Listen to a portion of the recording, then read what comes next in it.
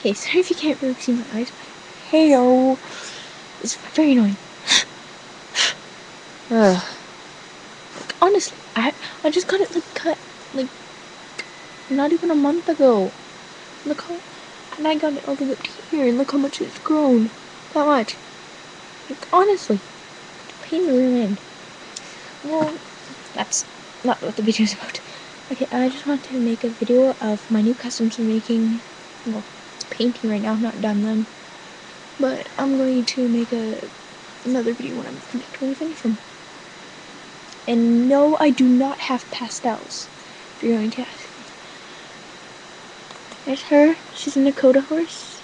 As you can see, she has shading under there. It's not shadow. See? Different. See? It looks even more darker. See? Beautiful shading. Like, I love her.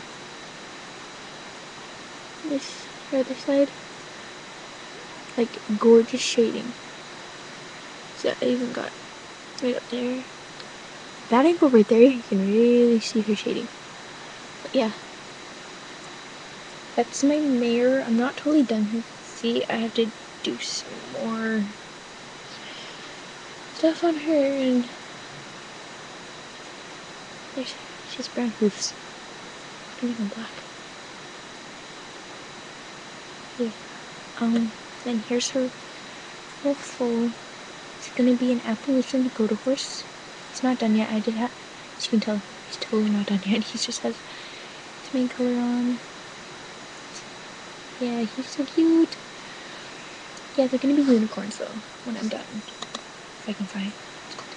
If you guys have sculpting, tell me. I need some. So yeah, bye bye.